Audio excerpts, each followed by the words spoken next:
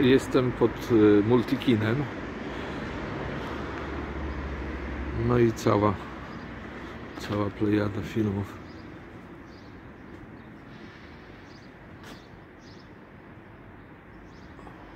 Przede wszystkim ojciec z Anthony Hopkinsem w roli głównej. Odbija się światło niestety. Trochę słabo widać.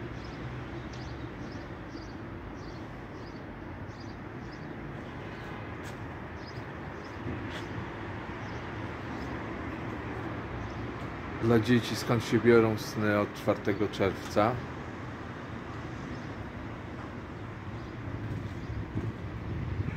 Tom i Jerry, no i na rauszu.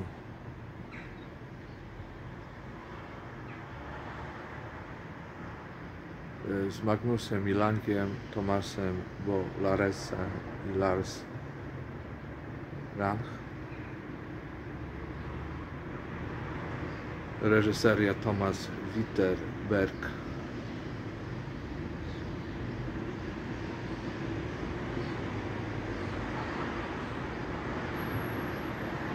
bawi, śmieszy, a potem nagle chwyta za gardło.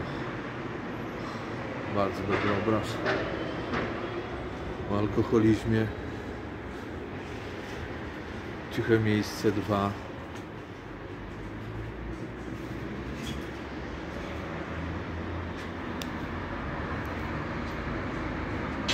No i psy i koty.